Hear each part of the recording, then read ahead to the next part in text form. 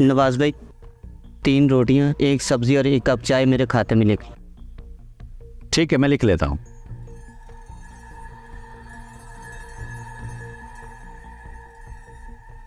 तुमने लिखे नहीं? क्या? उस बंदे के पैसे। लिख लूँगा। समझो दिल पर लिख लिए। पैसे थोड़ी चलता है बाद में भूल जाओगे लिख लो। मेरे दोस्त मुझे उसके पैसे लिखने ही नहीं। क्यों? समझाता हूँ। वो साथ वाली फैक्ट्री में मजदूर है।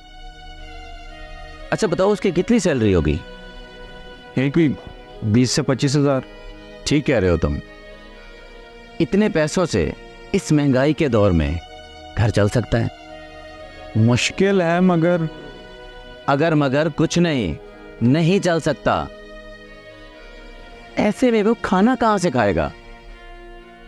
और मुझे यह भी पता है कि बहुत से मजदूर हिसाब किताब किए बगैर चले जाते हैं और पैसे भी नहीं देते। फिर भी तुम उनका खाता नहीं बनाते। मेरे दोस्त जिसने देने हैं वो दे जाएगा और जो नहीं दे सकता वो ना दे। चाय पिए। भाई खाना मिलेगा? हाँ हाँ भाई होटल खाने के लिए ही बनाया है। असल में मेरे पास पैसे नहीं है। भिखारी हो। नहीं जनाब मैं इसके बदले में कोई भी काम कर दूँगा। आप जाए खाना खा लें। अरे भाई इनको खाना खिला दो जो भी इनका खाने का दिल करे। आप जाए। शुक्रिया।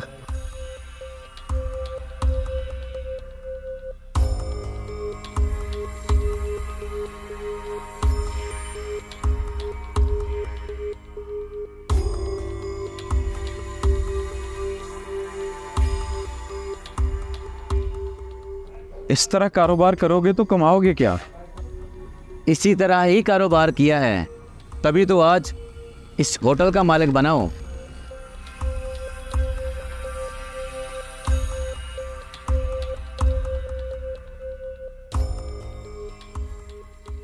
मैं समझा नहीं। बताता हूँ तुम्हें क्योंकि जब तक बताऊँगा नहीं तुम छोड़ोगे नहीं।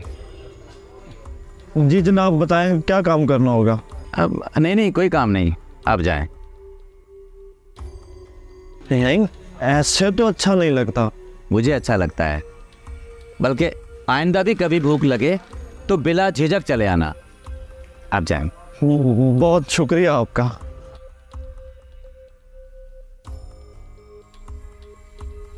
बहुत ही सखी नहीं हो? मुझे नहीं लगता कोई मुनाफा कमाते होगे तुम। तुम्हें याद है पहले मेरा काम छोटा सा था। सिर्फ़ एक चाय का ठिया था। हाँ याद है। मैं एक दिन बहुत परेशान था। या अल्लाह मैं बहुत परेशान हूँ। काम बढ़ने की बजाय घाटे में जा रहा है।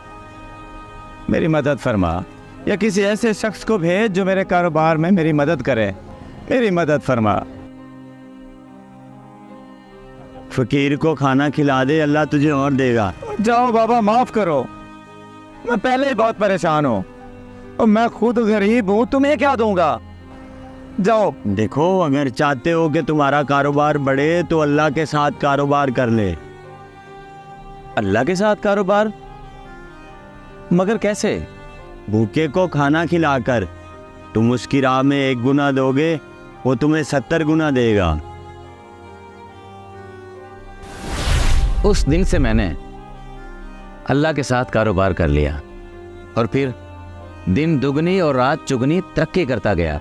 और आज एक होटल एक प्लाजा और दो कनाल के घर का मालिक हूँ। ठीक कहते हो तुम।